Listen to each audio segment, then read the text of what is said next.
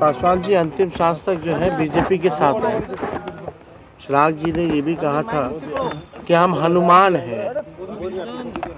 अब जिस प्रकार का जो व्यवहार हुआ उनके साथ, चलो घर कोई बात नहीं, लेकिन जो असली घर था, वो तो छीन लिया बीजेपी के लोगों ने। वो असली घर कौन सा था? चुनाव का सिंबल, छिना गया। और पार्टी को दो पार्ट में कर दिया गया। घर में ही आग लगा दी गई। यानी यहाँ तो हनुमान जी की ही घर में आग लगा दिया गया। तो ये तो इस पर हम ज़्यादा कुछ कहेंगे नहीं। लेकिन लगातार शुरुआत से ही चिराग जी हो या रामविलास जी हो, हमेशा नरेंद्र मोदी जी के तरफ़ ही खड़े रहे हैं।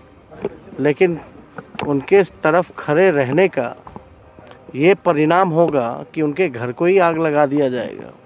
ये उचित नहीं है। अब इसमें हम क्या कैसे? अब हम इसमें क्या बताएँ? ये तो जवाब चिराग जी ही दे सकते हैं। ये डिप्टी सीएम तर्किशोर प्रसाद ने अब कहा है कि बिहार में योगी मॉडल की ज़रूरत है। पहले तो प्रवक्ता कहते थे तो वो मानते हैं कि अभी सर्कस मॉडल है। अरे सर्कस मॉडल है पूछिए तो।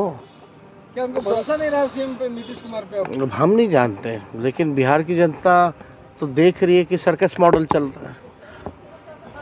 और लाएगा कौन? क्या है मॉडल क्या है? मॉडल क्या है? हमको तो पता ही नहीं है। वो कह रहे हैं कि देश- ही उनका मॉडल है। हाँ? बुलडोजर ही उनका यूपी मॉडल क्या होता है वो? किस लिए? हमको वो कॉन्सेप्ट समझ में नहीं आया। भाई, बुलडोजर चलना चाहिए। तो बेरोजगारी पे चलाते क्यों नहीं है यूपी में?